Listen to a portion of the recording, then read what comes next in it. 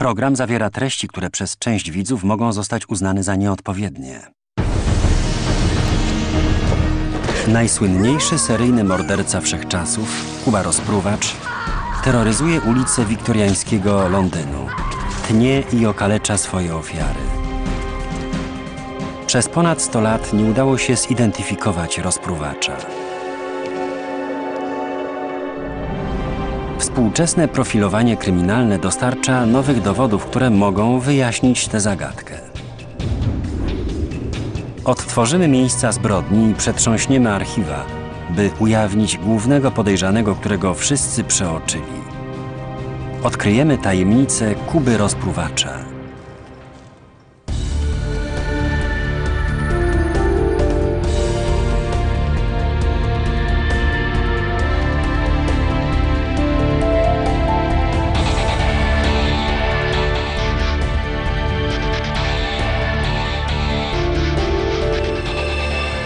Tajemnice z przeszłości. Kuba Rozpruwacz. W latach 1888 do 91 w londyńskiej dzielnicy Whitechapel zamordowano 11 kobiet. Pięć zbrodni łączy wiele podobieństw, dlatego zostają przypisane jednemu nieznanemu sprawcy.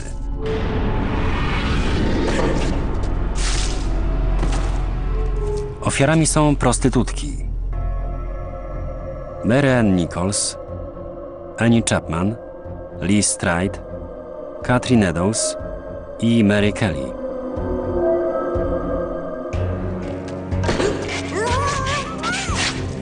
Rzeź kobiet trwa od sierpnia do listopada, a potem kończy się równie gwałtownie jak się zaczęła. Na przestrzeni lat pojawiło się wiele teorii dotyczących tożsamości zabójcy. Oskarżano masonów, królewskiego lekarza, a nawet jednego z wnuków królowej Wiktorii. Każde z pięciu morderstw badano już setki razy, ale według detektywów nadal skrywają one dowody wskazujące sprawcę.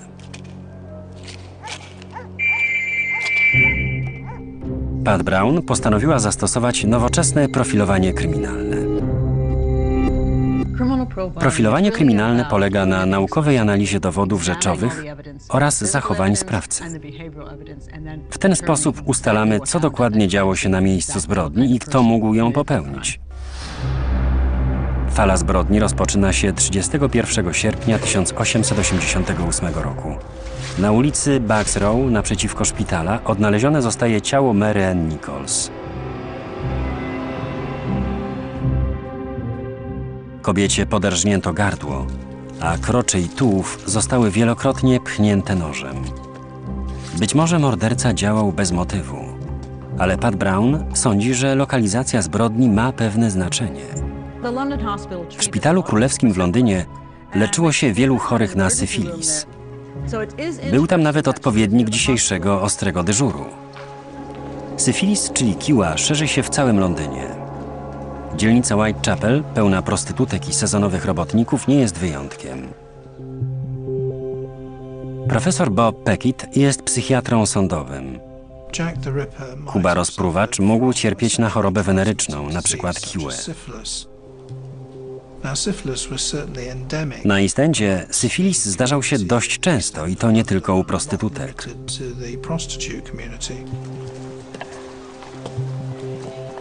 W latach 80. XIX wieku nie ma lekarstwa na tę chorobę, która może prowadzić do zaburzeń psychicznych i śmierci. Możliwe, że Kuba rozpruwacz chciał się leczyć na kiłę.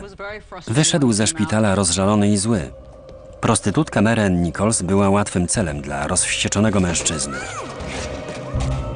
Druga ofiara, Annie Chapman, zostaje znaleziona 9 dni później, 8 września, kilometr dalej, na Hanbury Street. Obie kobiety były prostytutkami w średnim wieku. Drugiej ofierze również poderżnięto gardło. Później policjanci stwierdzają, że rozcięto również brzuch i usunięto macicę.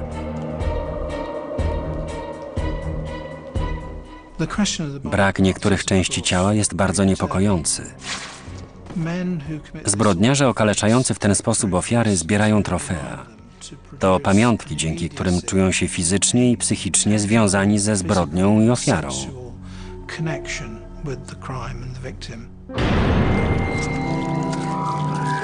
Macica to nietypowe trofeum.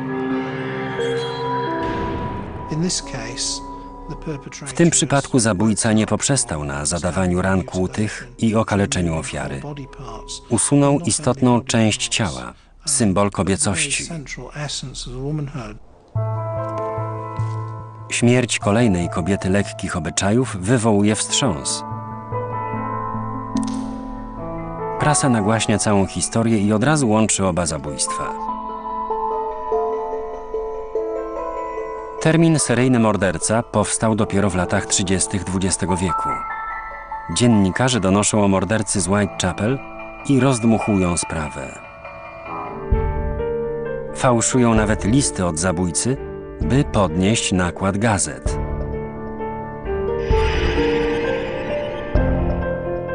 Morderca zyskuje imię dzięki listowi przysłanemu 25 września. Prasa wymyśla pseudonim Kuba Rozpruwacz, kojarzący się ze sposobem, w jaki zbrodniarz okalecza ofiary. Trzy dni po opublikowaniu listu panika Whitechapel sięga zenitu. Jednej nocy giną dwie kolejne prostytutki. Elizabeth Stride zginęła godzinę wcześniej niż Catherine Eddowes. Miała poderżnięte gardło. Uznano, że zabójcę spłoszyli klienci pobliskiego klubu. Porzucił ofiarę, by następnie zamordować Catherine Eddowes.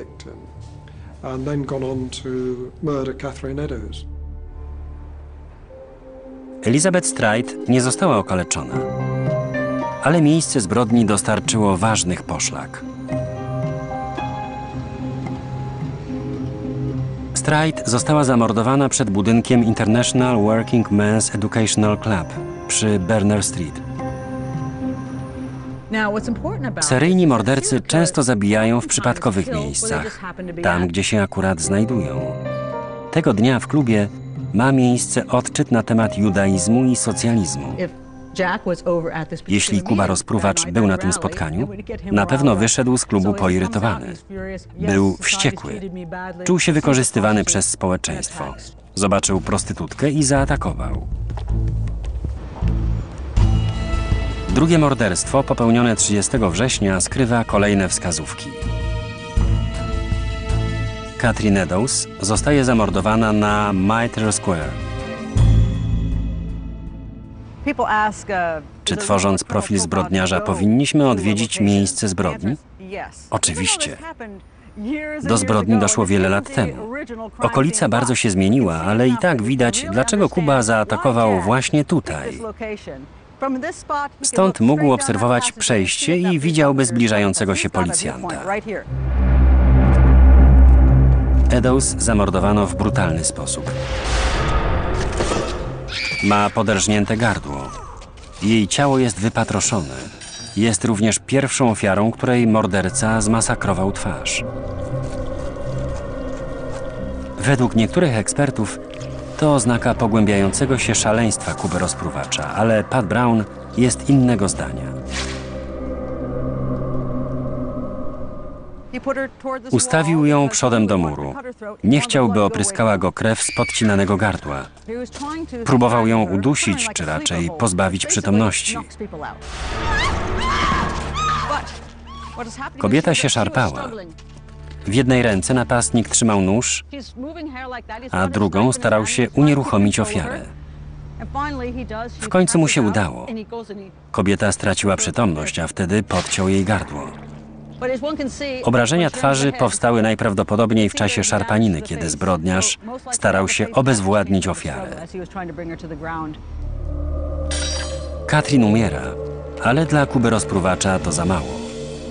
Już drugiej ofierze wycina macicę.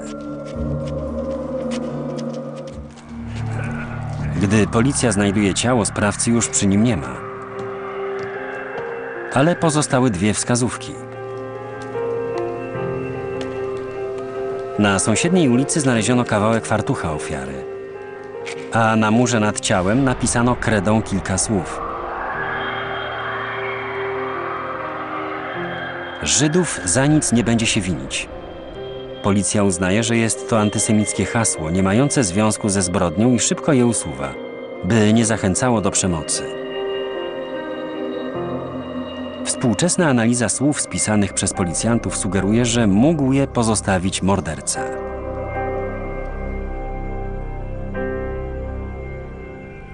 Donald Rambelow wydał wiele publikacji na temat Kuby rozpruwacza. Znaleziono napis na murze przy Goldstone Street. Dokładnie w tym przejściu widniały słowa Żydów za nic nie będzie się winić.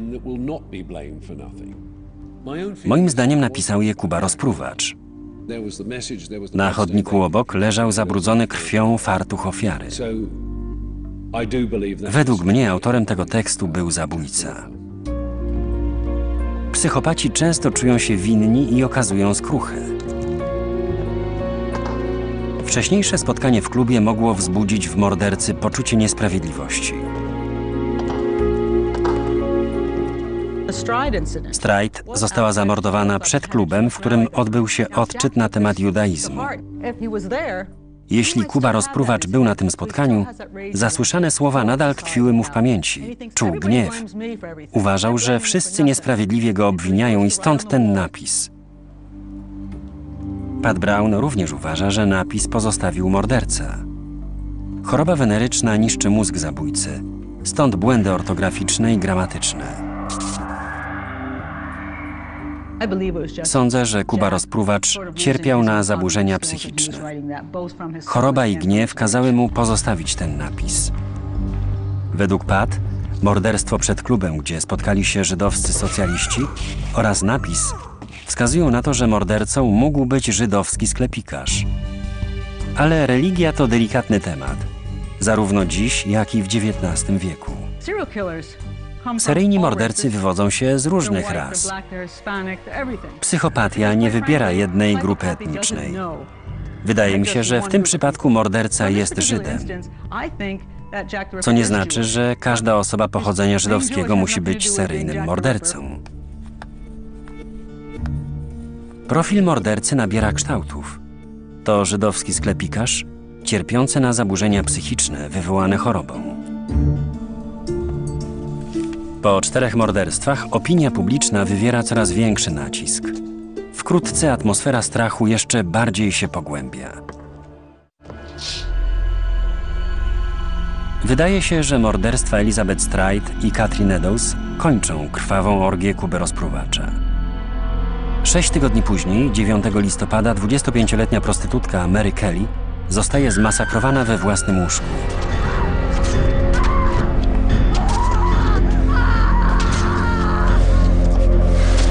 Ta zbrodnia różni się od czterech poprzednich. Wielu kryminologów uważa, że popełniła ją inna osoba. Ten przypadek zdecydowanie różni się od pozostałych. Wcześniejsze ofiary zamordowano na ulicy, a te w domu. Tamte ginęły bardzo szybko, w ciągu kilku minut. Tutaj morderca nie śpieszył się. Kelly została zamordowana w domu. Miejsce zbrodni jest nienaruszone. Pat odtworzyła wygląd pokoju na podstawie zdjęć i raportów policyjnych. Jej zdaniem ofiara znała zabójcę. Interesujące jest to, że ubranie Mary Kelly leży na krześle i jest starannie poskładane. Prawdopodobnie weszła do pokoju z klientem, ale czy to był Kuba rozpruwacz? On zwykle się śpieszy, atakuje i zabija ofiarę w ciągu kilku sekund. Tutaj widać poskładane ubrania. Mężczyzna mógł cierpliwie czekać, aż ofiara się rozbierze i dopiero potem ją zabić. Możliwe, że kobieta przebrała się już do snu i otworzyła drzwi komuś znajomemu, komuś, kto ją zabił. Kelly widziano po raz ostatni o drugiej nad ranem. Świadkowie zeznali, że tej nocy miała już dwóch klientów. Ułożenie ubrania i butów wskazuje na to, że kobieta chciała się położyć. Niestety tej nocy nie zasnęła.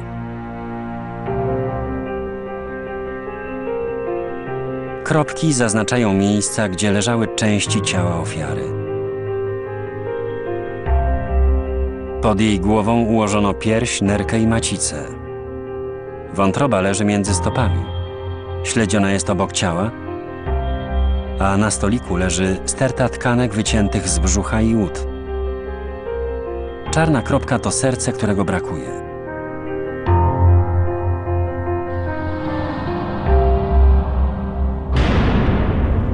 Twarz Kelly jest koszmarnie zmasakrowana, prawie nie do poznania.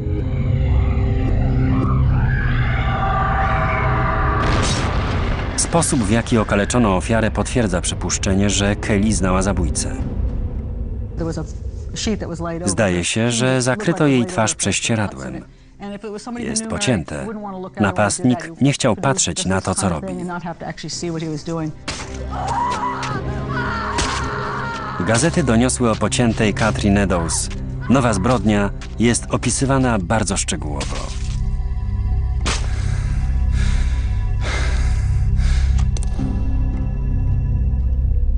Morderca pozostawia macicę Mary na miejscu zbrodni. Kuba rozpruwacz najczęściej zabiera właśnie ten narząd. Moim zdaniem Kuba Rozpruwacz zamordował cztery kobiety, które znaleziono na ulicy. Tej zbrodni dokonał ktoś inny. Kto się pod niego podszywał. Istnieje jeszcze jeden szczegół wyróżniający tę piątą zbrodnię. Mogący uniemożliwić policji identyfikację sprawcy.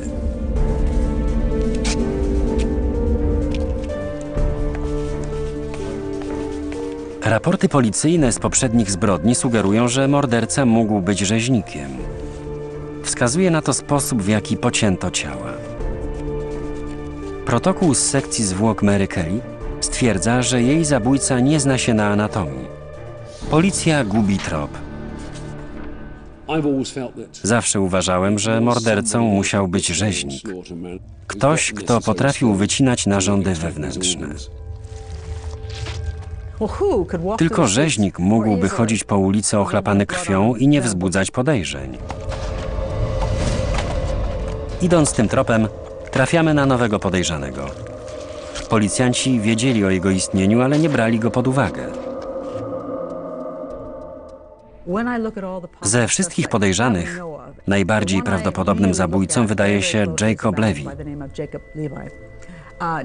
Był rzeźnikiem i żydowskim sklepikarzem. Pochodzenie i zawód Jacoba pasują do profilu utworzonego przez Pat. Rzeźnik pasuje również do stosowanej współcześnie teorii. Uważa się, że morderca mieszka zwykle na terenie wyznaczonym przez miejsca zbrodni. Levi mieszkał przy Fieldgate Street, a potem przy Middlesex Street. Oba adresy znajdują się na terenie, gdzie działał Kuba Rozpruwacz. Miał klucz do rzeźni. Mógł szybko dotrzeć na Middlesex Street. Wszystkie morderstwa popełniono w pobliżu. W pracowni mógł ukryć swoje skarby, umyć się, a potem wrócić do domu. Analiza zeznania złożonego przez żonę rzeźnika wskazuje na to, że mężczyzna cierpiał na zaburzenia psychiczne. Żona przyznaje, że Jacob przestał pracować. Całymi nocami włóczył się po ulicach i nigdy nie było wiadomo, gdzie jest. Wcześniej Levi był aresztowany za kradzież mięsa. Pozornie jest to niewielkie wykroczenie, ale według psychiatrów może być kolejną wskazówką. Na pewno pojawiłyby się różne oznaki. Mógł kłamać bez powodu albo oszukiwać klientów. Mógł też być nieuczciwy i okradać pracodawców. Współczesne dochodzenie wykazało, że Jacob Levy cierpiał na chorobę weneryczną. Był żonaty i miał dzieci, ale chorował na kiłę. Potwierdza to akt zgonu Jacoba. Rzeźnik mógł się zarazić syfilisem na ulicach Whitechapel. Zmarł w 1891 roku, dwa lata po zabójstwach Kuby Rozpruwacza.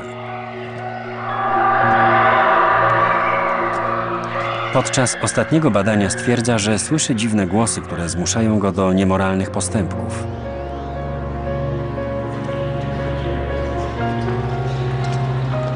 Takie głosy to jeden z objawów psychozy rozwijającej się w późnym stadium kiły.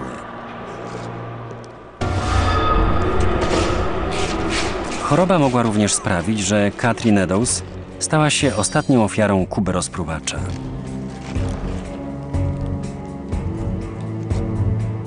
Nasilające się objawy w końcu uniemożliwiły mordercy kolejne dobrze zaplanowane ataki. Ale morderstwa mogły się gwałtownie urwać również za sprawą naocznego świadka. Żydowskiego rzemieślnika Józefa Chaima Lewiego.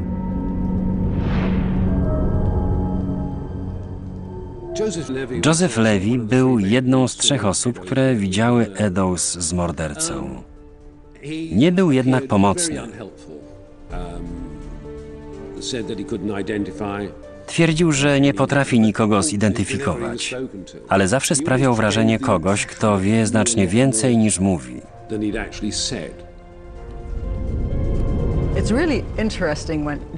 Joseph Chaim Levy Nie chce opisać człowieka, który mógł być Kubą rozpruwaczem.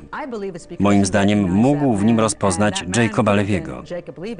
Obaj byli rzeźnikami i pracowali obok siebie. Rzeźnia Józefa znajduje się 55 metrów od sklepu podejrzanego. Świadek zachował milczenie, ale ujawnił jedną intrygującą informację, która dzisiaj wyraźnie wskazuje na Jacoba.